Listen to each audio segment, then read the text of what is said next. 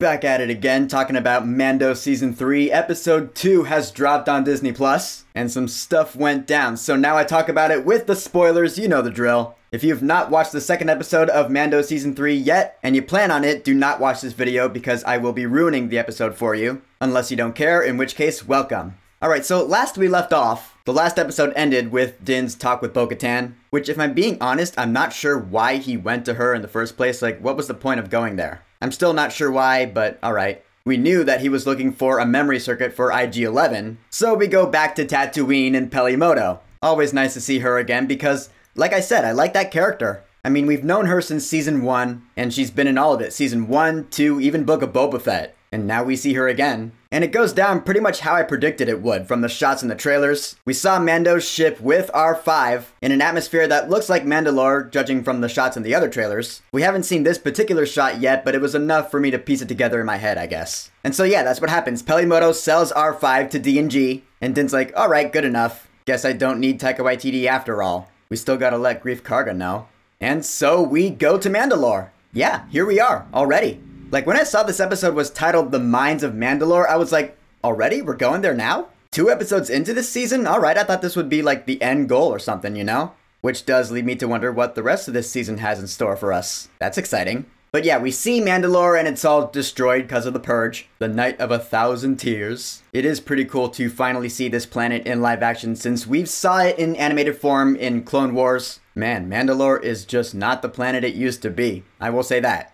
And so when D and G are exploring the caves, we do finally get to see Din use the Darksaber for the first time in this season. Not the first time ever, we've seen him use it before, I meant the first time in this season, you know what I mean. We heard him say he does still have it in the last episode, now we get to see the proof. Cause he uses it to take on those Alamites that remind me of Wampas. That was pretty cool. Although he does eventually get captured, which gives Grogu his moment to shine. Dude, I gotta say, Grogu is the MVP in this episode for damn certain. I mean, even right after Din gets captured, Grogu goes. Like, we see him investigating the case. He's like watching from behind cover, seeing what Din is going through. And I was sitting there watching this last night, like, what's he gonna do? He goes up to Din, he tries to rescue him, but I guess his force power's not strong enough yet. And Din's like, go get Bo Katan. And so he does. Grogu gets back to the ship and he tells R5, I mean, he doesn't actually say anything, but he points to the planet on the chart and he's like, go here. I was like, oh my god, Grogu getting it done. I love that. I guess Grogu is more sentient than I thought he was anyway.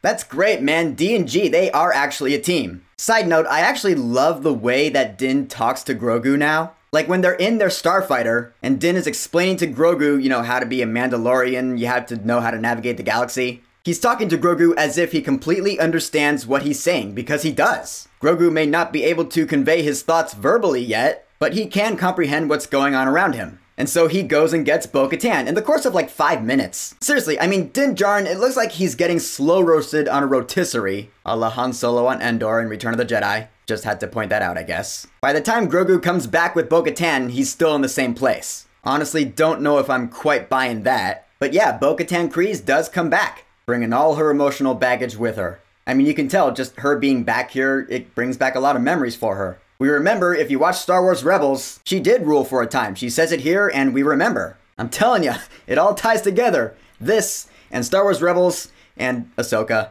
since the Rebels crew is gonna be in that show. Just saying. So Bo comes back, she rescues Din Djarin. She does use the dark saber to do it though. She uses it to wipe out that weird, creepy Krang from Teenage Mutant Ninja Turtles out of the shadows looking fucker. Honestly, not sure if something that looks like that belongs in Star Wars. It didn't look like Star Wars. It looked like Teenage Mutant Ninja Turtles out of the shadows. It looked like Krang. Because, you know, it had that eye that looked like it was a fleshy human eye or something inside of a machine. I don't know. But getting back to Bo Katan with the dark saber, because I thought she wasn't allowed to use it. Like, I don't know how the dark saber works in lore. Like Mandalorian lore. Mandalore.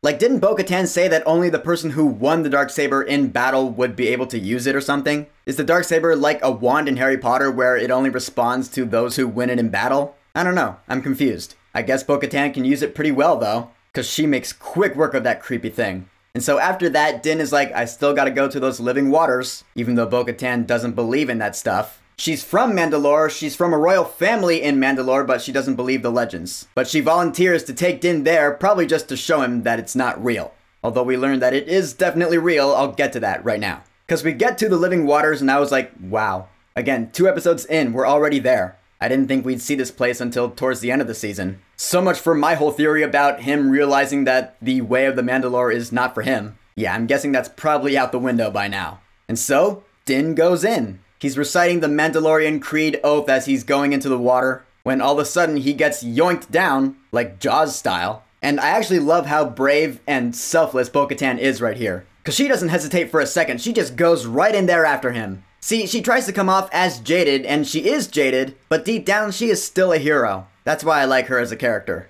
And so she sees him at the bottom of this huge lake. Oh my god. There's a lot more going on underneath the surface than above the surface lets on, that's for sure. And so she gets him at the bottom, and as they're going back up, this. We see this huge beast, and I was like, alright, so another huge beast in another Star Wars adventure. But then we get a good look at this thing, and yeah, I noticed the facial shape and I was like, holy shit, that is the Mythosaur. As in the Mythosaur of Mandalorian legend, the shape of that thing's face became the crest, the symbol of the entirety of the Mandalorian culture. You know, the symbol that was on Boba Fett's original armor. We Star Wars fans, we've known that symbol forever. So holy shit, alright, the Mythosaur is here, so yeah, you better believe the legends are real, Bo-Katan. That's pretty crazy. So they get out of the lake and that's where the episode ends. Again, great ending, because this is just the end of this part of the story. There is more to tell. Got some theories if I'm thinking ahead. I can see Din like on the back of this giant mythosaur going up to the armor and being like, Am I redeemed now? That'd be awesome and kinda hilarious. Kinda channeling Boba Fett on the Rancor, but a thousand times more awesome. All I know is I can't wait for that conversation between Din and Bo next week. Yep, this season's certainly doing what it promised, diving into that Mandalorian culture more than either of the previous two seasons have. And I'm digging it so far. Both episodes so far, they've been good, they've been solid. Again, I love the fact that it does seem to be dropping that episodic bullshit. Nice job. So, The Mandalorian Chapter 18 The Mines of Mandalore. Have you watched it yet? What are your thoughts on it? And what are your theories for what might happen next week? Whatever you think, go ahead and leave a comment. And of course, thank you for subscribing. Now, if you'll excuse me, I'm gonna get back to playing Hogwarts Legacy. I'm actually almost done with it, so expect a video somewhat soon. Peace!